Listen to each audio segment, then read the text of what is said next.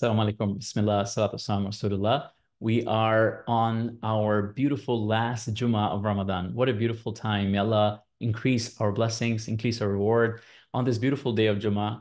On the night of 27 that's approaching us here in Dallas, I'm asking all of our Muraqaba community around the world, alhamdulillah, from all over the world, our Muraqaba community, our mindfulness community, community that has joined us for the Mindful Ramadan series, to support us to get to our finish line for our app. Alhamdulillah, we have over 100 different content that our team has been researching and developing in trying to bring this God-centered, spiritual, emotional productivity and wellness training, this preventative mental health space where we can prevent all of these lost potential of the ummah.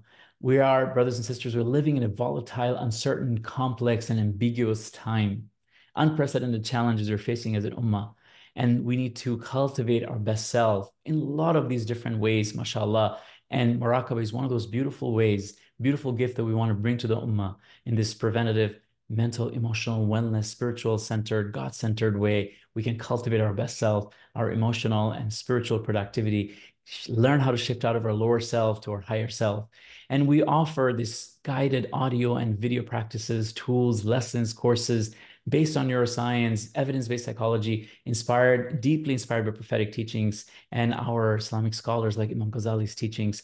Unlike mainstream mindfulness meditation tools, Muraqaba aims to cultivate God-centered emotional well-being, where Allah subhanahu is right there with us in our training, our mind, training our heart.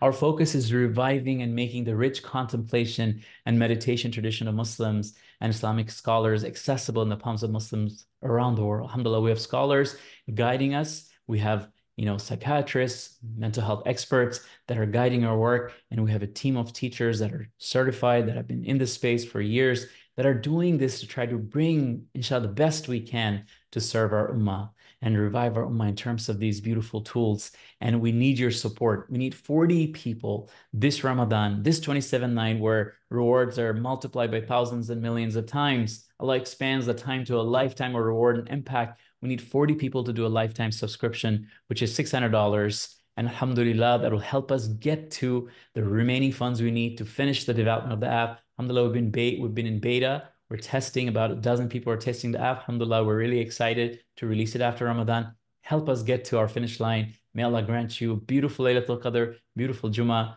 all the du'as for acceptance and increase in tawfiq and afi and barakah, protection from all harm. Jazakumullah khair. Assalamu alaikum wa rahmatullahi wa barakatuh.